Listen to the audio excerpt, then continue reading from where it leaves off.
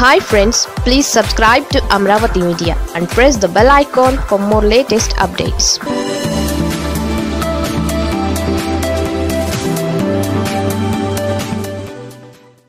తాడిపత్రిలో high tension టీడీపీకి twist ఇచ్చిన వైసీపీ.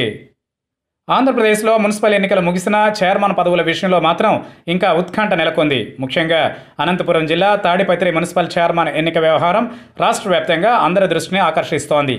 తాడిపత్రి పీఠాన్ని కైవసం చేసుకునేందుకు అధికార వైఎస్ఆర్ కాంగ్రెస్ ప్రతిపక్ష తెలుగుదేశం పార్టీ తీవ్రంగా ప్రయత్నిస్తున్నాయి. ఇప్పటికే తాడిపత్రిలో ఆధిక్యాన్ని సాధించిన టీడీపీ తమ కౌన్సిలర్లను కాపాడుకునేందుకు వారిని రహస్య శిబిరానికి తరలించింది. ఓవైపు టీడీపీ తమ అభ్యర్థులు చేజారకుండా వారిని కాపాడుకుంటోంది. మరోవైపు వైసీపీ మాత్రం టీడీపీ శిబిరంలోని వారిని ఆకర్షించేందుకు శక్తియుక్తులన్నీ ఒడ్డుతోంది. ఫలితాలు వచ్చిన వెంటనే తమ కౌన్సిలర్లను టీడీపీ నేత జేసీ ప్రభాకర్ రెడ్డి హైదరాబాద్కు తరలించారు. అక్కడి నుంచి బెంగళూరుకు తరలించినట్లు తెలుస్తోంది. టీడీపీ ఏర్పాటు చేసిన శిబిరంలో ఆ పార్టీ తరఫున గెలిచిన పద్దెనిమిది మంది కౌన్సిలర్లతో పాటు ఒక సిపిఐ ఒక స్వతంత్ర కౌన్సిలర్ ఉన్నారు. చైర్మన్ ఎన్నికలో తెలుగుదేశం పార్టీకి మద్దతు ఇస్తామనే స్పష్టమైన హామీతోనే ఇతరులిద్దరూ శిబిరంలో కొనసాగుతున్నారు. ఇరవై మందిలో ఏ ఒక్కరూ చేజారే అవకాశం లేదని జేసీ ప్రభాకర్ రెడ్డి ధీమా వ్యక్తం చేస్తున్నారు. మరోవైపు టీడీపీ ప్రతిపాదించే చైర్మన్ అభ్యర్థికే తాము మద్దతు ఇస్తున్నట్లు సిపిఐ జిల్లా కార్యదర్శి జగదీష్ తాడిపత్రి మున్సిపల్ కమిషనర్ ప్రసాద్ రెడ్డికి ముందుగానే విప్ సమర్పించారు.